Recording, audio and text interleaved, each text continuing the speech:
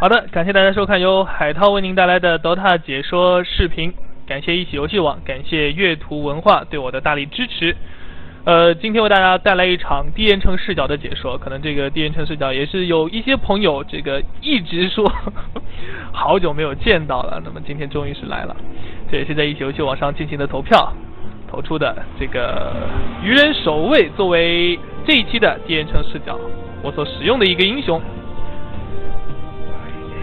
啊，因为守卫这个英雄，其实我在去结婚之前也是已经录了两场，但是那两场全部悲剧了，一场是麦没有打开，另外一场是干嘛？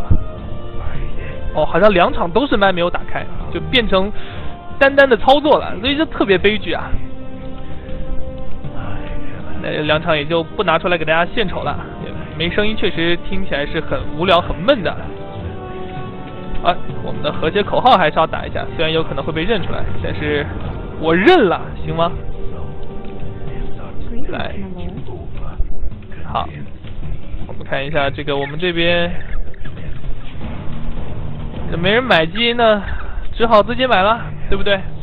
对我来说，自强那是一直以来的习惯。我们看对面的阵容哈，末日，这个这个黑鸟。大树、小鱼人加上水人，给队友共享一下。好，在这里也是宣布一个事情，那就是海涛的官方 YY 滔滔不绝。原来的电信网通分开的制度呢，也是导致我非常的不好管理，所以今后电信、网通全部集中在幺四二二这一个 YY 频道里边。希望大家如果想要进入海涛的。这个 YY 进行游戏的话呢，都可以来到这两个 YY，呃，这个这一个 YY 啊，幺四二，这个 YY 来进行娱乐。希望大家以后切记啊，只此一家，别无分号，幺四二二，幺四二二黑。呃，其实我们这边有很多适合中单的英雄，但是他们都没有中单的欲望。那对于我这样。自信满满的选手来说，不管实力如何，我总归是中路啊，毫不做作的，直接是占掉。好，再加上中路这个对末日，其实也不是很有压力啊。哎，好的，这一次是利用自己不同的这个补，哎呦，一下、两下、三下。好，掉。他在不停的拉扯。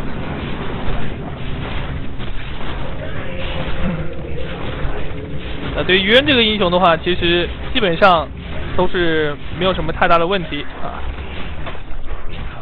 就是在升点上面啊，基本上都是 R 和 T，也就是这个愚人冲刺这两个技能护点。因为有很多朋友喜欢第一这个在前期的时候点一些被动，但其实是非常没有必要的，因为愚人这个英雄他的魔法消耗其实不大，啊，然后点被动前期也看不出效果，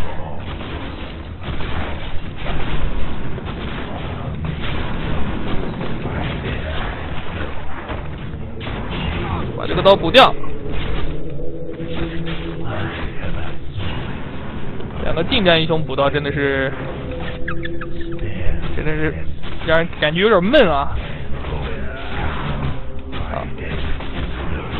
前期呢这个拼补刀总归是很闷的，而且他有补刀斧，有时候我真这么跟他补也未必能补得过他。我就不跟你拼了吧，一下，来。一下，两下，三下，这个我不要冲，我冲上去我就死掉了。因为被塔打，这个时候还是很伤的。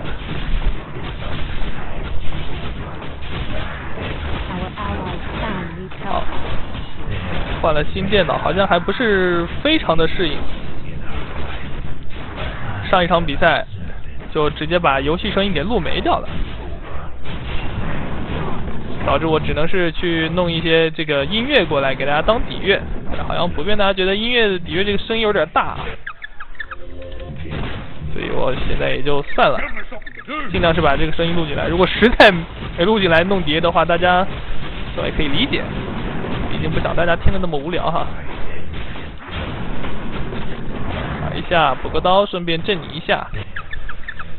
好，然后可以把魔棒买过来。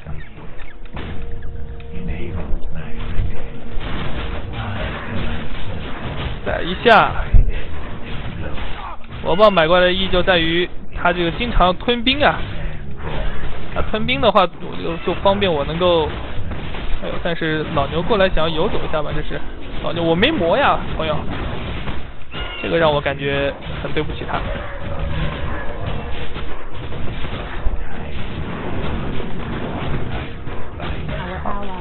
就去买了买了一个指环，你看，他要吞兵，那就让我有机可乘，一下，两下，三下，再来，还是没魔，要一百零五点魔法。点等魔法，马上到了，老牛下一个技能。用，能不能上来？上不来，那我给自己套上一个吧。中单在对末日的时候有一个地方要注意啊，如果他这个时候学的是两级的这个等级炮的话，我就很难受了。因为两级的等级炮，它的这一个特殊数字是五，那基本上到了五级的时候，我就很难跟他这样对抗。我这攻击是高啊！点你，点你，不要点太多，点太多会被他点的。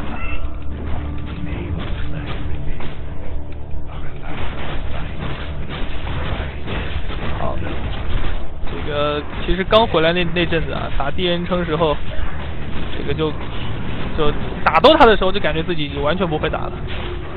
特别说打第一人称了，所以这几天也是恢复了一下状态，稍微恢复了一下，一回来事儿也多，稍微恢复了一下状态。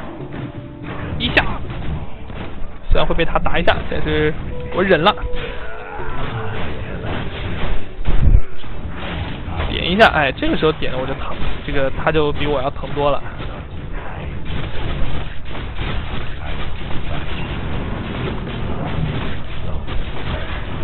用小鸡用了一个魔棒过来，我的小鸟可以过来给我买点东西了。在这种情况下，我是选选择先出先锋盾来撑血。水人，水人想配合末日，啥？我就说水人去卡 bug 了，哦，可能是最近比较火的这个水人打柔闪。呃，觉得水人是不是去做这个事儿去了？但其实没有，水人应该是想要配合末日的一个到六之后的大招，然后看能不能杀一下我。你想干嘛？水人到这里来，还想要打小鸟吗？这是说说说说而已的，说说而已的。我小鸟还有一个无敌没开呢，哎。